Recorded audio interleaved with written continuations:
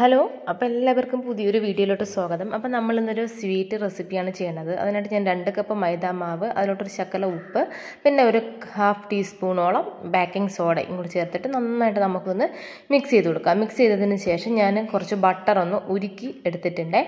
ഒന്ന് ചൂടാക്കി മെൽറ്റാക്കി എടുത്തിട്ടുണ്ട്. അതിന് നമുക്ക് ഇതിലോട് ചേർത്ത് കൊടുത്തിട്ട് നന്നായിട്ട് ഒന്ന് മിക്സ് ചെയ്ത് കൊടുക്കാം നമുക്ക്. എന്നിട്ട് കൈ കൊണ്ട് നന്നായിട്ട് നമുക്കൊന്ന് ഞെരടിയതിന് ശേഷം അതിലോട്ട് കുറച്ച് കുറച്ച് വെള്ളം ഒഴിച്ചിട്ട് നമുക്ക് മാവുന്നത് ഇതുപോലെ ഒന്ന് കുഴച്ചെടുക്കാം. നല്ല സോഫ്റ്റായിട്ട് വേണം കുഴച്ചെടുക്കാനായിട്ട്. പിന്നെ നമുക്ക് നമ്മുടെ സേവനാഴി എടുത്തിട്ട് നമ്മൾ സേവനാഴിക്കുള്ളിൽ ഞാൻ കുറച്ച് ഓയിലൊന്ന് തടവിയിട്ടുണ്ട്. എന്നിട്ട് നമ്മൾ തയ്യാറാക്കി വെച്ച മാവ് നമുക്കിതിന്റെ ഉള്ളിലോട്ട് വെച്ച് കൊടുക്കാം. വെച്ച് കൊടുത്തിട്ട് നമുക്കിതിനെ നന്നായിട്ടൊന്ന് പിഴിഞ്ഞെടുക്കാം. വളരെ സിമ്പിളായിട്ടുള്ള റെസിപ്പിയാണ് അപ്പോൾ ഞാൻ രണ്ട് രീതിയിൽ ഞാനത് ചെയ്തിട്ടുണ്ടായിരുന്നു. ഒന്ന് ഈ രീതിയിലും അതുപോലെ തന്നെ ഒരെണ്ണം ഞാൻ അത് നന്നായിട്ട് പരത്തിയതിന് ശേഷം ഒന്ന് കട്ട് ചെയ്തെടുത്തിട്ട് ഈ ഒരു ഷേപ്പ് ചെയ്യാനായിട്ട് നോക്കി. പക്ഷേ അത് അത്രത്തോളം പെർഫെക്ഷൻ വന്നിട്ടില്ലായിരുന്നു. അപ്പോഴാണ് പിന്നീട് ഞാൻ ഈ സേവനാഴിയിൽ മാവ് ഇട്ടിട്ട് ഇതുപോലെ ചെയ്തത്. എന്താ കണ്ടല്ലോ എന്നിട്ട് മാവ് പിഴിഞ്ഞതിന് ശേഷം ഇതുപോലെ ഒന്ന് ചെയ്ത് കൊടുക്കുക. ഈ ഒരു ഡിസൈനിൽ ചെയ്തെടുക്കുക. അപ്പോൾ കാണാനും നല്ല നല്ല ലെയർ കണക്കിരിക്കുകയും ചെയ്യും. നല്ല ഭംഗിയുണ്ട് കാണാനായിട്ട്. കഴിക്കാനും ഒരു വെറൈറ്റി ഒരു ടേസ്റ്റാണ് നമ്മൾ ബട്ടറൊക്കെ ചേർത്തിട്ടുള്ളതുകൊണ്ട്. അപ്പോൾ ബട്ടറിന് ഇല്ല എങ്കിൽ മാത്രം ഏതെങ്കിലും ടൈപ്പ് റിഫൈൻഡ് ഓയിൽ നിങ്ങൾ യൂസ് ചെയ്താൽ മതി. കണ്ടല്ലോ? ഇതുപോലെ കട്ട് ചെയ്തെടുക്കുക. ഇനി നമുക്ക് ഞാനിവിടെ ഓയിൽ മീഡിയം ഫ്ലെയിമിൽ ചൂടാവാനായിട്ട് വെച്ചിട്ടുണ്ട്. അതിലൂടെ നമുക്കിതിട്ടിട്ട് ഫ്രൈ ചെയ്തെടുക്കാമേ.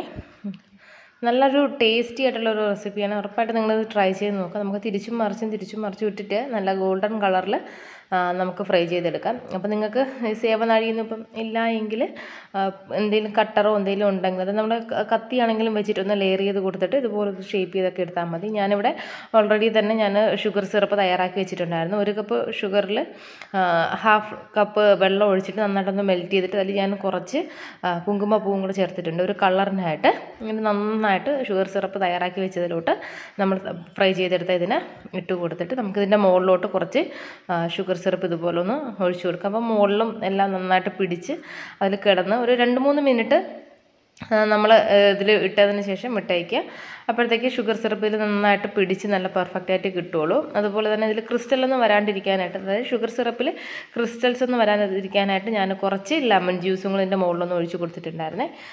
ഇപ്പോൾ ഒരു രണ്ട് മൂന്ന് മിനിറ്റ് കഴിഞ്ഞിട്ടുണ്ട്. ഇനി നമുക്കിതിനൊരു പ്ലേറ്റിലോട്ട് മാറ്റാം. ഓക്കെ. അപ്പോൾ ഞാൻ അതിനൊരു പ്ലേറ്റിലോട്ട് മാറ്റിയിട്ടുണ്ട്.